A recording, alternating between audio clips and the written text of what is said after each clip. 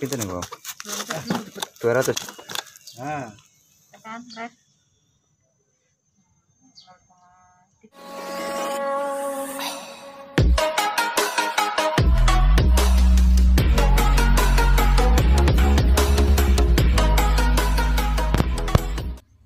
Assalamualaikum warahmatullahi wabarakatuh Selamat datang kembali di Hardi Kreasi Channel Kali ini saya akan memberikan tutorial bagaimana cara menggunakan hard raster atau pengguldanan pentanaan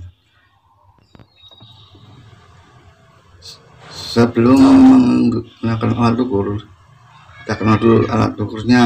Ini adalah bentuk dari hard raster atau alat ukur tahanan pentanaan ini adalah lubang untuk pencolok atau kabel penghubung merah hijau dan kuning.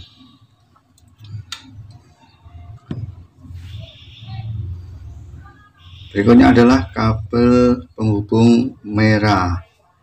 Di kurang lebih 15 meter panjangnya. Kemudian kabel penghubung kuning. Selanjutnya adalah kabel penghubung hijau. Dan terakhir adalah pasak dua buah pasak berikutnya persiapan untuk pengukuran tanah pentanaan di titik grounding dari alat penangkal petir atau penyalur petir. Pertama kita tarik ke suatu titik. Nah, menggunakan kabel berwarna kuning kira-kira 10 sampai dengan 15 meter dari titik ukur. Pengantar petir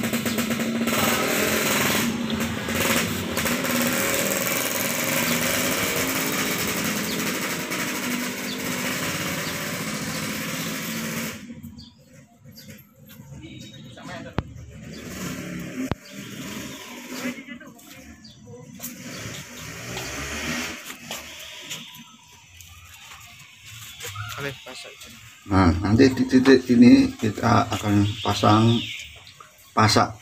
Sebagai titik yang akan menjadi referensi.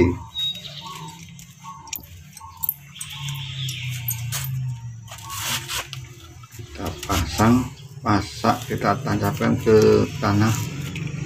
Kemudian capit buaya kita cabutkan ke masak yang kita tancapkan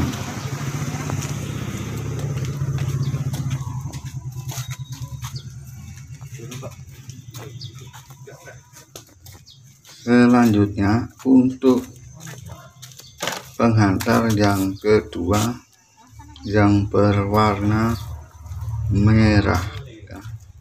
Kita tarik ke suatu titik yang lain kira-kira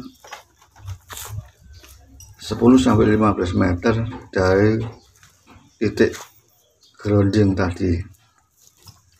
Dengan arah kurang lebih 90 derajat. Arahnya dari titik yang pertama tadi. Kita cari tanah yang bisa kita pasang pasak karena di sini tanahnya sudah dipaving semua. Kita cari titik yang masih bisa dipasang. Pasak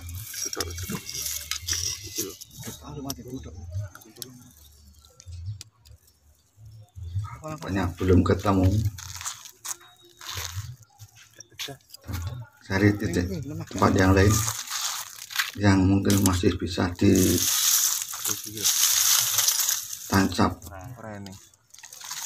masak.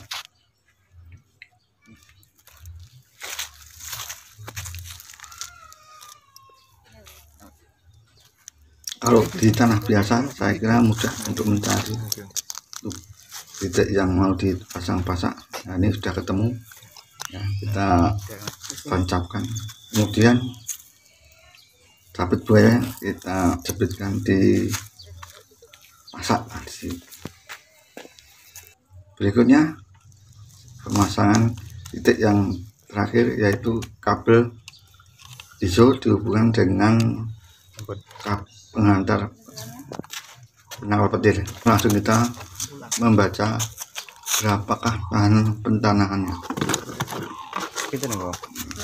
hanya kita 200. Nah, di selektor kita putar ke batas ukur kali 200 nah, kemudian di T tombol ditekan sebentar nanti akan muncul angka.